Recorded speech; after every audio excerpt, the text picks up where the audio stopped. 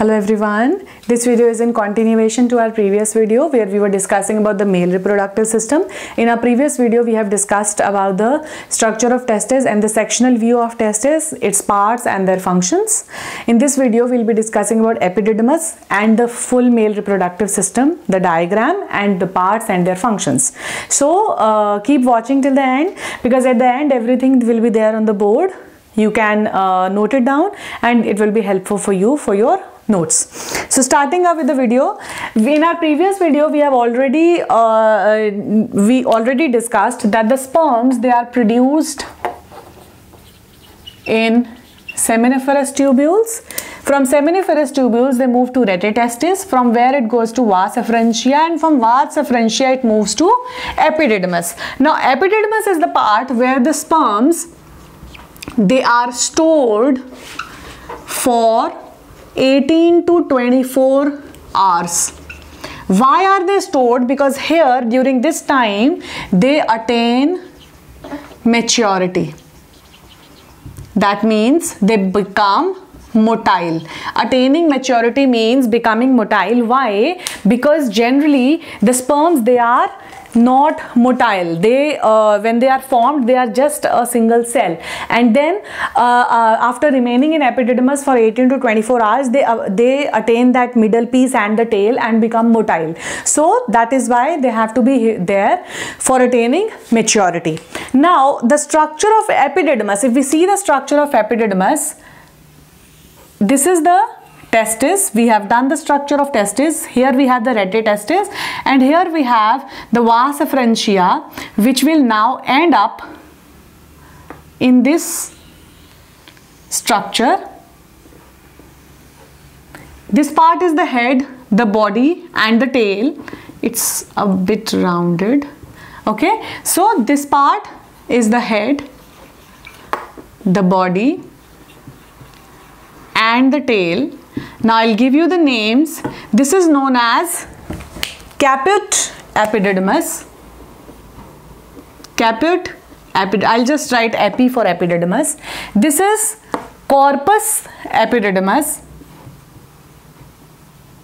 And the last part is cauda epididymis. Cauda you must have heard about caudal fin. Caudal fin is the rear fin of the fish. So that's given for the tail actually. So cauda epididymis the tail corpus epididymis the body and head the caput epididymis. So these are the parts of the epididymis. The diagram drawn here is epididymis.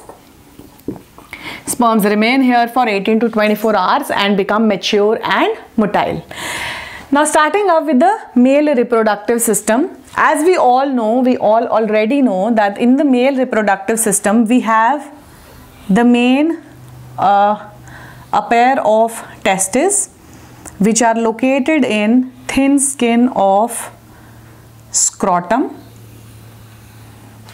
Fine. I'll just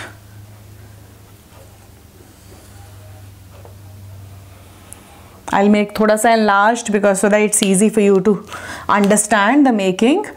Then we have the epididymis here From the epididymis arise this tube here also. From the epididymis arises this tube.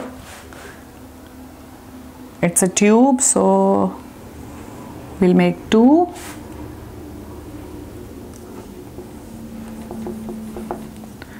we'll make two tubes. We'll give a gap here. Here. So and make the scrotum. Fine. So uh, here we have this gap and then they end up thoda sa I just need to squeeze them because here I need to make the urinary bladder as well so I'll just squeeze it up a bit.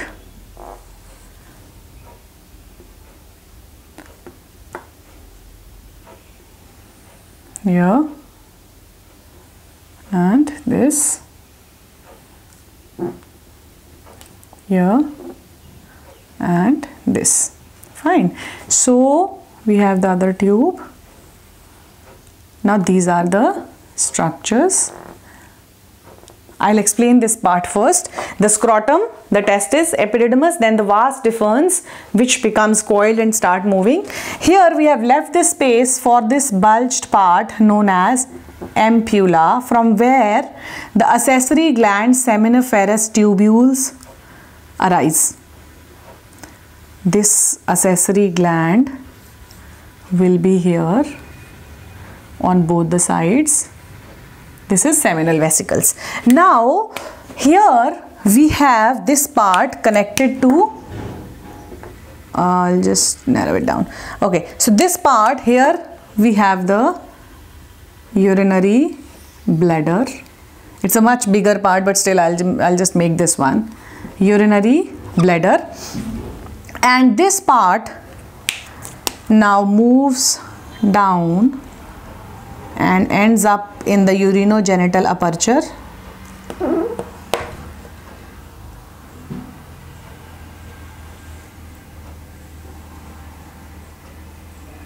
Okay the urinary genital aperture is here.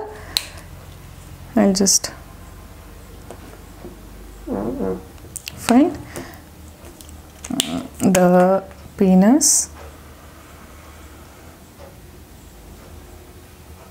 okay. So this is the part and we have uh, some more labelings here but I'll explain these first and then I will start labeling. This is scrotum. Testis here we have epididymis. Then this is vas deferens. This is seminal vesicles and this is urinary bladder. This point is known as urethra. Urethra. This is the ejaculatory duct. Ejaculatory duct. And now we have a donut shaped gland here which is going to cover or hide the connection of the urinogenital connection.